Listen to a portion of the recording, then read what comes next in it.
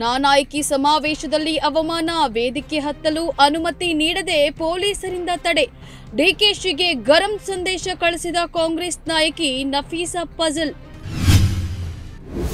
ಕಾಂಗ್ರೆಸ್ ಅಧಿಕಾರಕ್ಕೆ ಬರಲ್ಲ ಅಂತ ಅವರಿಗೆ ಗೊತ್ತಿದೆ. ಹೀಗಾಗಿ ರಾಜ್ಯದ ಜನರಿಗೆ ಸುಳ್ಳು ಭರವಸೆಯನ್ನ ನೀಡುತ್ತಿದ್ದಾರೆ ಕಾಂಗ್ರೆಸ್ ಕುರಿತು ಆರ್ಗ ಜ್ಞಾನೇಂದ್ರ ಲೇವಡಿ. ಬಿಜೆಪಿಯ ಶಾಸಕರಲ್ಲೇ ಕೆಸರೆರಚಾಟ ಆರಂಭ. ಇಡೀ ರಾಜ್ಯಕ್ಕೆ ಬಿಜೆಪಿ ಸಂಸ್ಕೃತಿ ಏನು ಎಂಬುದು ಗೊತ್ತಾಗಿದೆ. ಎಚ್ ಡಿ ಕುಮಾರಸ್ವಾಮಿ ಕಿಡಿ. ನಂದಿನಿ ಸಂಸ್ಥೆ ಬೆಳವಣಿಗೆಯಲ್ಲಿ ರೇವಣ್ಣ ಅವರ ಪಾತ್ರವೂ ಇದೆ. ಅಮಲ್ ಜೊತೆ ವಿಲೀನಗೊಳಿಸಲು ನಂದಿನಿ ಯಾರಪ್ಪನ ಆಸ್ತಿ? ಪ್ರಜ್ವಲ್ ರೇವಣ್ಣ ಪ್ರಶ್ನೆ. ಕಾಂಗ್ರೆಸ್ ಅಧಿಕಾರಕ್ಕೆ ಬಂದ್ರೆ ಪ್ರತಿ ಮನೆಗೆ ಹತ್ತು ಕೆಜಿ ಅಕ್ಕಿ. ಹೊಸಪೇಟೆಯಲ್ಲಿ ನಡೆದ ಪ್ರಜಾಧ್ವನಿ ಯಾತ್ರೆಯಲ್ಲಿ ಸಿದ್ದರಾಮಯ್ಯ ಘೋಷಣೆ. ಬಿಜೆಪಿ ವಿರುದ್ಧ ವಿಪಕ್ಷ ನಾಯಕ ವಾಗ್ದಾಳಿ.